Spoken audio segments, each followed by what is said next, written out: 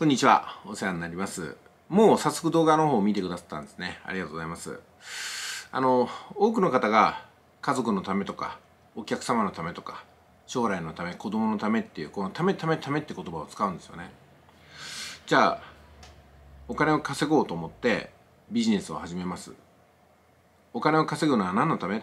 奥さんのため、家族のため、子供のため、両親のため、ためって言いますよね。でもお金を稼げずに挫折する方っていうのはじゃあお父さんお母さんお嫁さん子供さんのためにならなかったのかなって思っちゃうんですよ。その誰かのためにやるよりも自分が稼げないこと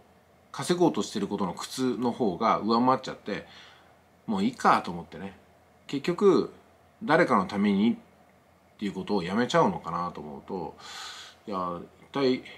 何なんだろうなと思っちゃうんですよね。うん、でことビジネスに関してはあのやっぱりやったら成果が出るんですよね。八百屋さんでも魚屋さんでも商品仕入れて「いらっしゃいいらっしゃい」って呼びかけて近づいてきた人に「これ鮮度がいいようまいよ」って売り込むわけですよね。で私がやってるのも全く同じなんですよ。あの YouTube でいろんな動画を出したりとかするのはなぜかっていうとあのお店をオープンしてるってことなんですよ。空いてますよってことです。私はいつでもこうやって皆さんの声聞いてますよ商品並べてますよってことなんですよ。えということでね前提はこのぐらいにしといて。え今回ね NPC ニューポイントクラブなんですけども J コスメのポイントはそちらの方に格納されてますんでこれをなんとか現金にしたいですよね。で方法は2つあります。1つはニューポイントクラブを設けさせること。もう1つはもう1個の事業デジタルアート NFT の事業ですよね。こちらの方で儲けて、えー、返礼金は現金にならないんだけども儲けたお金で家族を潤わすってことですよね、うん、でマイケル・ジャクソンの NFT とかが例えば2200円で売られるって話が9月にね2200円で売られるって話がありますんでそれを買って転売を見込むってのはなかなか面白い話なんじゃないかなって気はするんですけどね。まあ、どこをどう考えてどこに自分の頑張りを傾けるかっていうのは個人個人ちょっと変わってきますんで何をやろうかやろうとしてるかによって私のアドバイスも変わってくるんですが私はね今まで通り目の前の商品を売って現金を作る。